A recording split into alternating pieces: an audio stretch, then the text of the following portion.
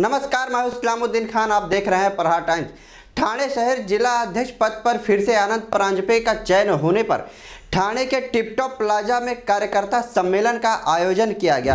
इस सम्मेलन में राकपा के प्रदेशाध्यक्ष जयंत पाटिल ने सीएम पर जमकर हमला बोला। जयंत पाटिल ने कहा कि फडणवीस सरकार ने बड़े बड़े परियोजनाओं की घोषणा तो कर दी है, मगर इन्हें पूरा करने के लिए इन सरकार के पास पैसे नहीं है। सरकार ने महाराष्ट्र वासियों को कर्जदार बना दिया है। जयंत पाटिल ने कहा राज्य सरकार पाच लाख करोड़ रुपए का कर्ज है। तरी एकाच व्यक्तीला जवळपास आठशे कोटी रुपये नुकसान भरपाई जागेची देण्याचं काम देखील पराक्रम देखील या सरकारमध्ये झालं आहे आता विधानसभा येईल त्यावेळी ते सगळे प्रश्न येतील. परंतु समृद्ध महामार्गावर सहा हजार कोटी रुपयाची रक्कम आज वाढून आहे. आणि एवढ्या मोठ्या म्हणजे मिसमॅनेजमेंट कसं प्रोजेक्टचं चालू आहे? प्रोजेक्ट करायला हरकत नाही. पण अजून इतक्या लवकर पहिल्या वर्ष सव्वा वर्षातच जर एवढी किंमत वाढत असेल समृद्ध महामार्गाची मला वाटतं की राज्या राज्य सरकारने ज्या कल्पना लोकांच्या समोर मांडल्या त्या कल्पना पूर्ण करण्याची देखील ताकद या सरकारची नाही नियोजन नाही. आणि त्यामुळं सगळेच प्रकल्प समृद्ध मार्ग नाही.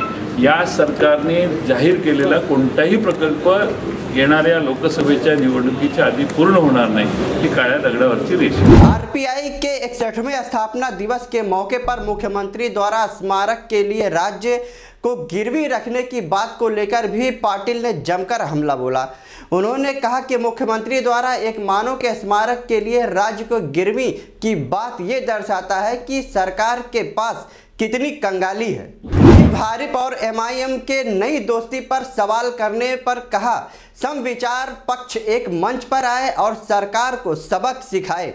गिरवी रखने की भाषा बोलने वाली बीजेपी और शिवसेना को सत्ता से बेदखल करना है। पेट्रोल डीजल के मुद्दे पर कहा कि 20 से 25 रुपए की वृद्धि की गई है और आबकारी कर वैल्यू एडेड टैक्स इसी सरकार ने बढ़ाया है। और अब आगामी चुनाव को देखते हुए पाँच रुपये कम किए जा रहे हैं। राजनीति करने के लिए पाँच रुपये बहुत कम है।